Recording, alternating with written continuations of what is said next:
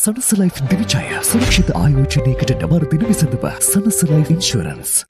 ඌව පරණගම වැවේගම මාලිකා කුඹුර හරහා ඇති කස්තුරි ඇල්ල මාර්ගයයි මේ. ගම්වාසීන් පෙන්වා දෙන්නේ ඌව පරණගම ප්‍රාදේශීය සභාව විසින් මීට වසර තුනකට ප්‍රථම මාර්ගය සංවර්ධනය කළත් මේ වන විට එය අබලන් වී ඇති බවයි. නිසි පරිදි මාර්ගය ප්‍රතිසංස්කරණය නොකිරීම නිසා මෙම තත්ත්වය උද්ගත ඇති බව ගම්වාසීන් පෙන්වා දෙනවා. මෙම මාර්ගය හරහා ගොවින් සිය අස්වනු රැගෙන යන්නේද ගැටලු රැසකට මුහුණ දෙමින්.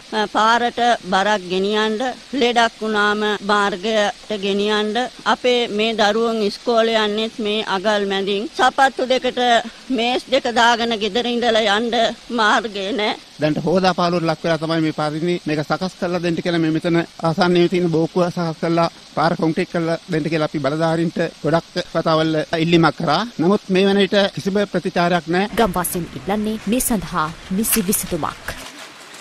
ඇත්ත කෙටියෙන් දත්ත වැඩියෙන් සයිබ අවකාශය කළඹන වුවත් සලකුණ නිවස් ෆර්ස්ට් YouTube චැනලය අදම සබස්ක්‍රයිබ් කරන්න.